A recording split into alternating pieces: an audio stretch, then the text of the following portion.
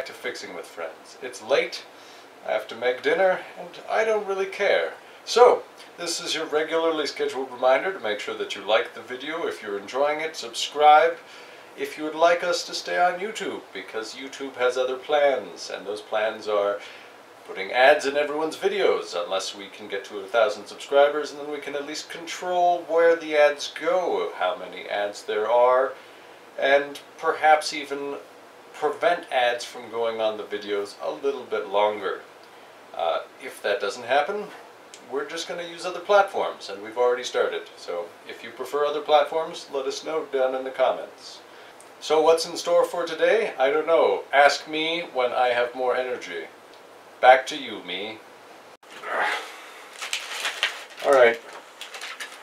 So, we're going to put the steering bellows on today, because we didn't get to them last time. If we have time, I'm going to throw the stabilizer bar links on the rear end. Anyway, so just put these earplugs in and then get to work.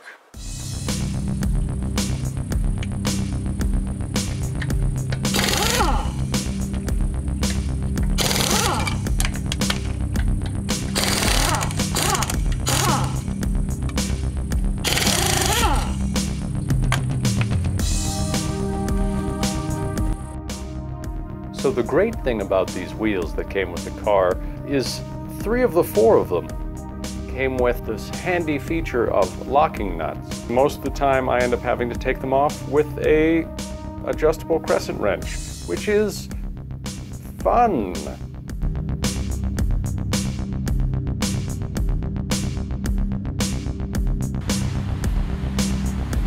Don't buy these. Not that I did.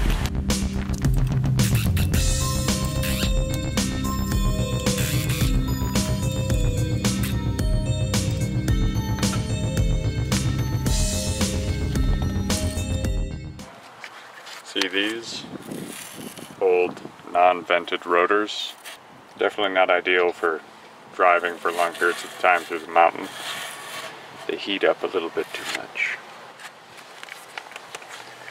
So I'll check the pad life while we're here. So they're getting close to being worn out. There's probably about a third still left.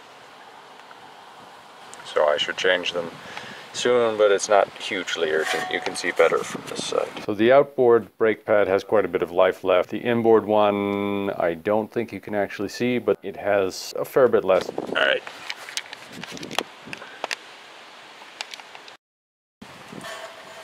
So this right here is the boot we're replacing. Uh, so we have to pull the tie rod ends off for that. As you can see, they could use a new boot. It's kind of just dissolved. I was told not to worry about it. I am worrying about it, so I'm going to replace them. Or I'm just going to get new tie rod ends. We'll see.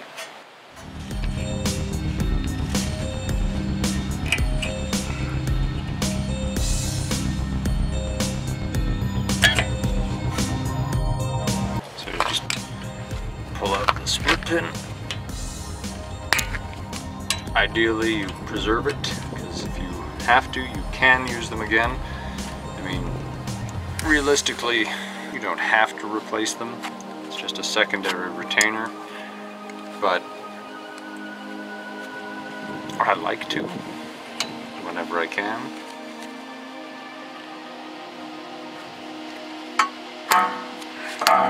Should have read the vice grips.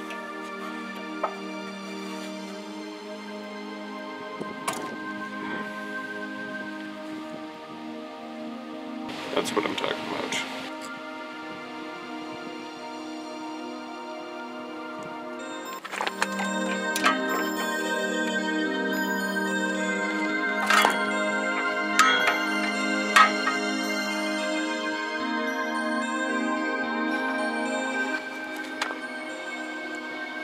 The crown nut.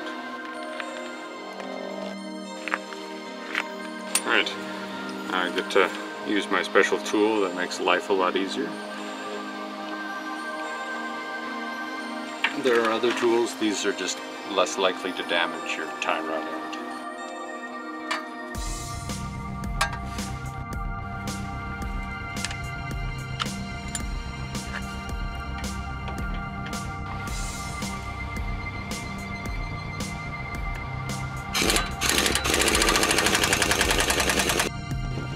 also only had this on one, so it's just wasting air.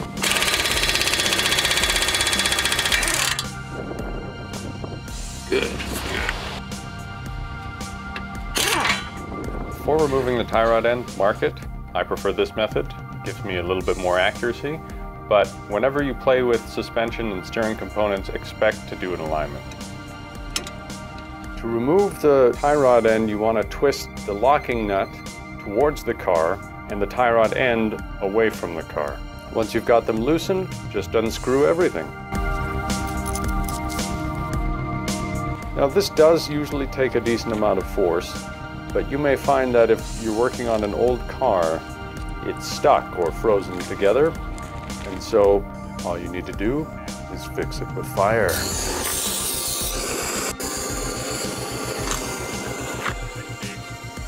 When you're doing this, obviously be careful. You don't want to be heating up your brake line or burning anything or yourselves. Take your time, only heat up the tie rod end and the nut. You definitely don't want to be that guy who set my car on fire. And honestly, at the time, I knew the shop owner. I didn't push the fact, but at the end of the day, anytime a shop damages your car, you have to be on them about it because it's it's nine times out of ten it's just negligence. I was told, well, you know, it had to be done. That's really not the case. Um, you can be careful about these things. You don't do a wheel alignment, back your back the customer's car into something, and be like, you know, it happens during wheel alignments. It's just a risk of the wheel alignment. No, in a case like this, they could even buy a different tool, like the inductive heat coil that I used for the Mustang you know, it costs a little bit of money, but then you never have to worry about setting something on fire, or the risk is significantly lower. So, yeah, if a shop damages your car, make sure they pay for it or fix the damage.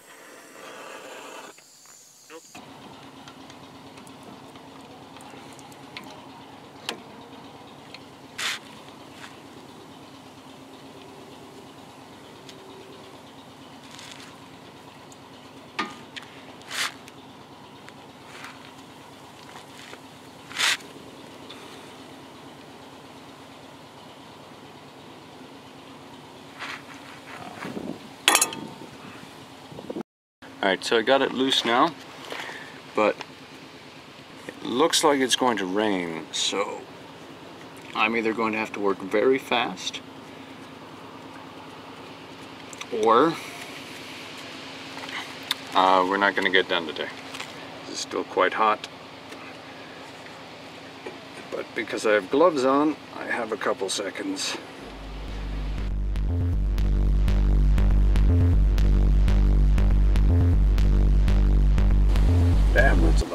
Thread.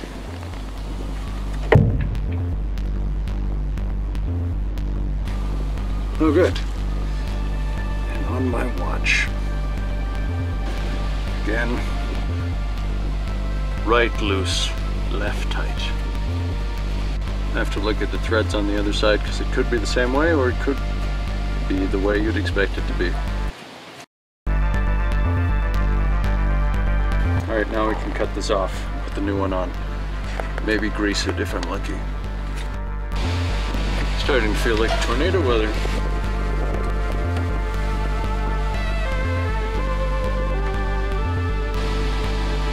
Oh, that's working at least. The new one has zip ties on it. This one's got a clamp. And nothing on the outer side.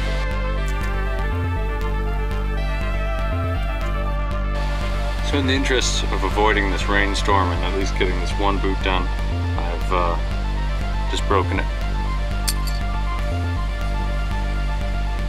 Watch as it still doesn't come off.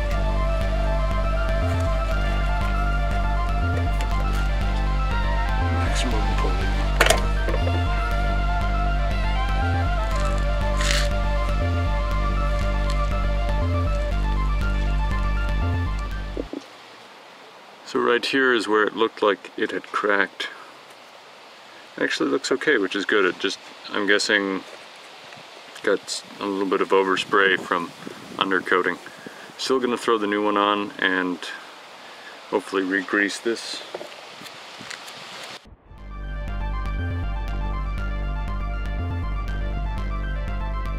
You can see the teeth on the bottom there.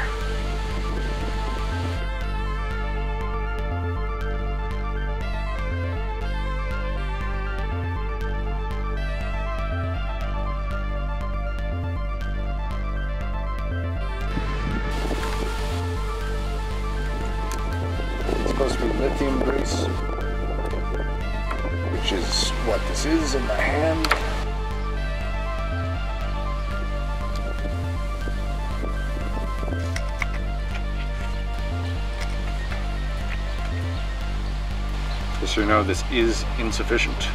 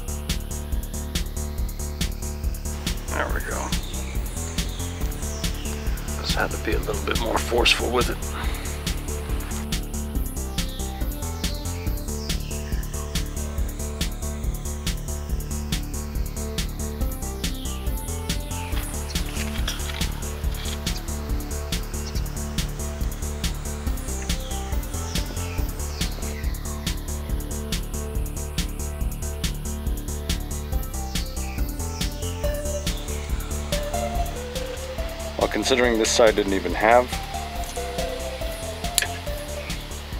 a tie on it before, it's probably just fine.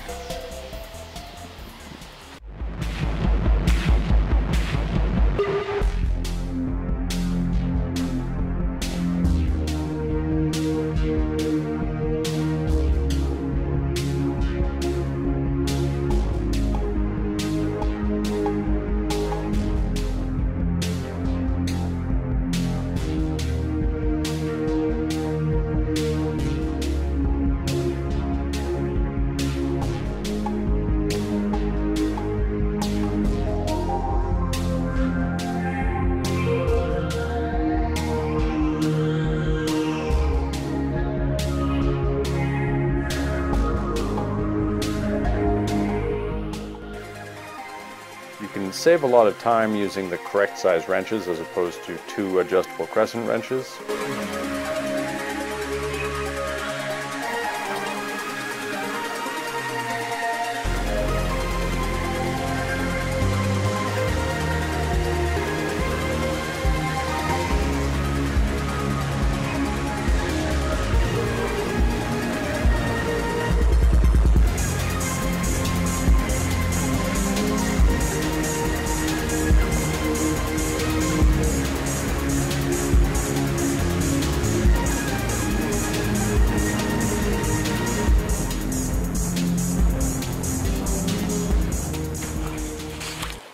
Stole a Zerk fitting from the tie rod end. I think I can grease it. I didn't grease the other side, but I can always pull it off and do it again. Another time.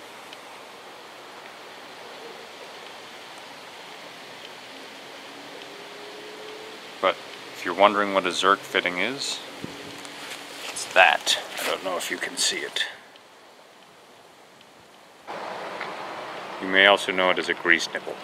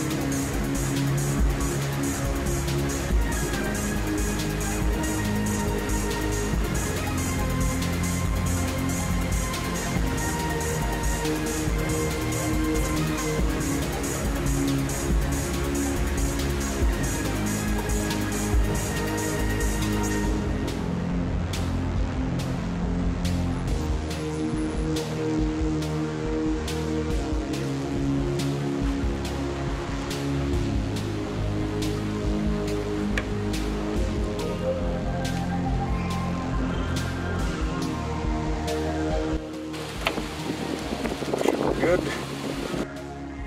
I didn't have an impact driver with me, so I didn't take the lower pan off. If you have one, it would save a lot of time. If not, it didn't make sense for me to add the extra time of taking off and putting the pan back on. But if you don't want to fiddle around, definitely do that.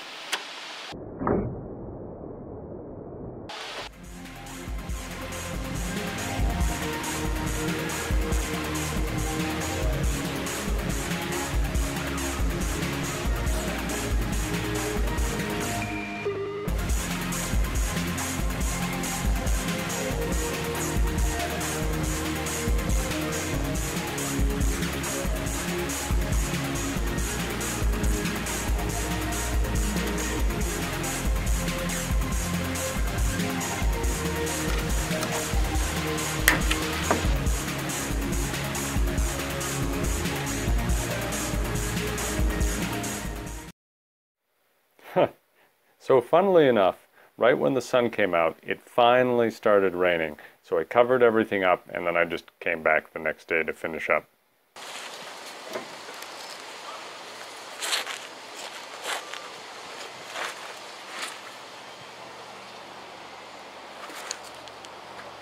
I don't know about you guys, but I feel safer with a clamp than with the zip ties. So I just tested moving the wheel in and out so that I could see if the bellows would come off.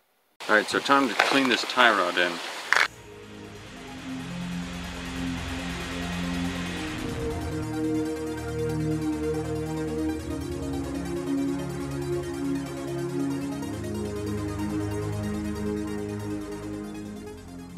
Alright, so these aren't perfect, but they are a lot cleaner than they were before and they're probably never going to be perfect. Not with the environment I have. Um, so we're going to make some temporary boots out of this and some gloves. Yes, I'm recycling an old Ziploc bag that I cleaned thoroughly.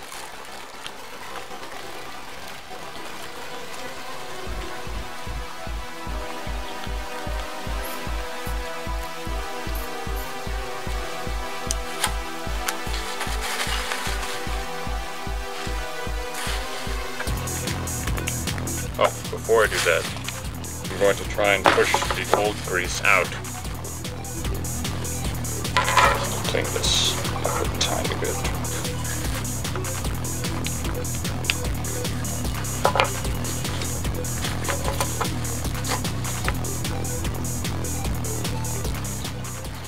Whoops.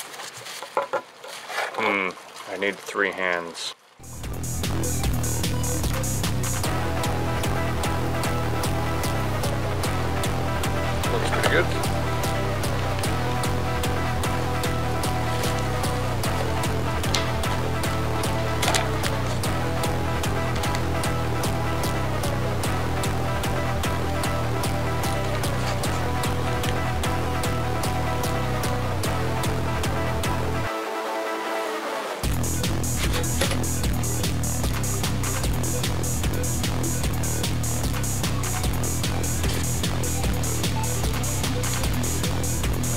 Not going to be the most durable boot ever, but it should work, which is what's important.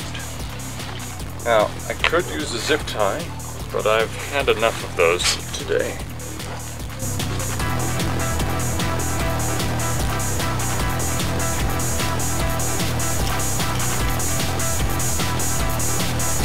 For those of you wondering, a zip tie would indeed be better, but I'm not, I'm done with those.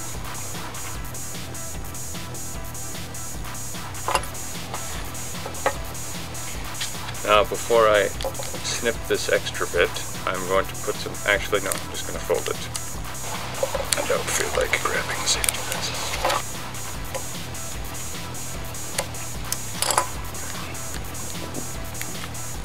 Alright. Who said I didn't like crafts?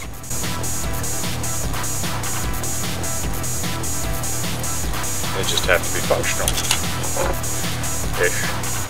I will report in to let you guys know how well that actually worked.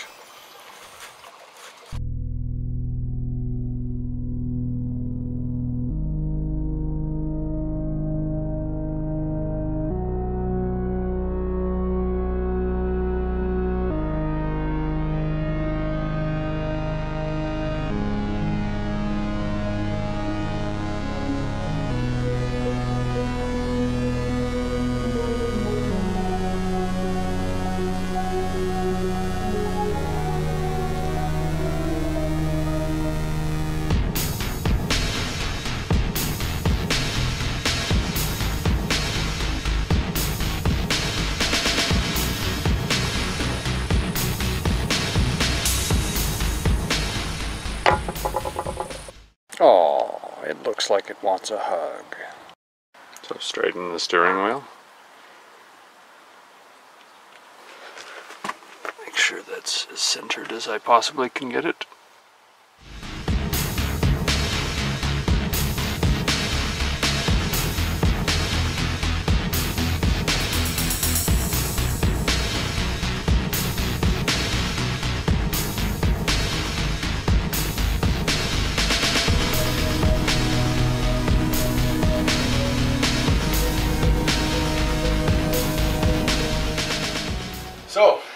Episode. Next time we're jumping right back in with Cyclops and the Flipping Cars series. Another short video there. The next series we're going to be getting into pretty soon is with the Datsun, and there's a really big project that we did, and that's um, painting it. So we tried a budget painting exercise. I'll have to total how much it actually costed for you, but uh, I believe it was in the realm of two to three hundred dollars. So it's a very cheap paint job. It's going to be broken down into a lot of segments because I pull apart a lot of the car so you can see how that's done.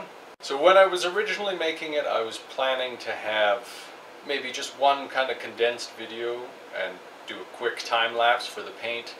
But no, there's so much that happened. I'm going to show you the process of pulling things apart, putting things back together, all the different segments, and I'll try and partition them in a way that makes sense because there's just so much there, and if I made it one video, you would probably spend 10 hours watching it after I've edited it. I don't know. There's so much. Before I forget, we hit 50 subscribers, so thank you all for watching. We didn't start out with a lot, which is fine because I'm not too keen on everyone I know watching these. But uh, anyway, yeah, thanks again, and see you guys next time.